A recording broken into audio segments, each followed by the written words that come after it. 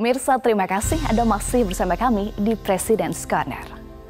Musisi asal Indonesia yang berkarir di industri musik internasional, Brian Immanuel atau Rich Brian, berbincang dengan Presiden Joko Widodo di Istana Bogor. Brian bercerita soal perjalanan karirnya di industri musik dan potensi masa depan musik Indonesia.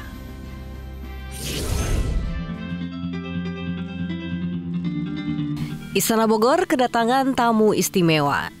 Kali ini seorang rapper yang berhasil go internasional datang menemui Presiden Joko Widodo, yaitu Brian Immanuel atau yang dikenal dengan Rich Brian.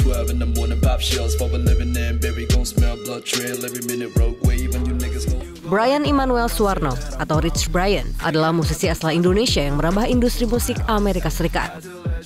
Brian mengunggah lagu pertamanya Stick pada tahun 2016 dan menjadi viral di media sosial. Karya Rich Brian disukai oleh penikmat musik dunia.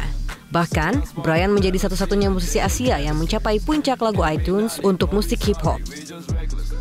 Brian juga pernah masuk ke dalam daftar tahunan bertajuk Forbes 30 Under 30 2018 yang merupakan apresiasi atas pencapaian karir dan pengaruh bagi sekitar.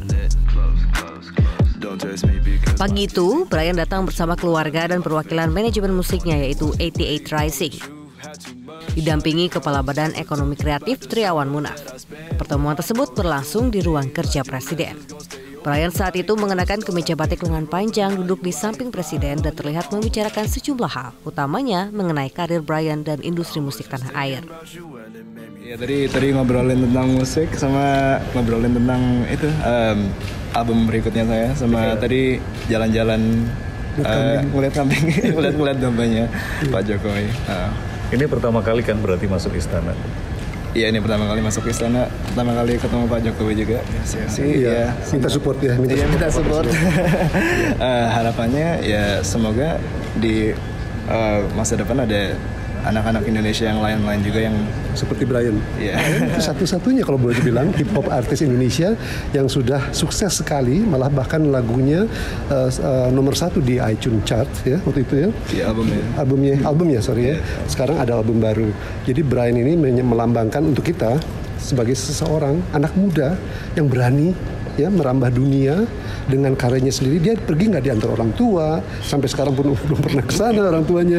Jadi hal ini uh, aspirasi ya untuk anak-anak muda ya. Inspirasi untuk anak-anak muda.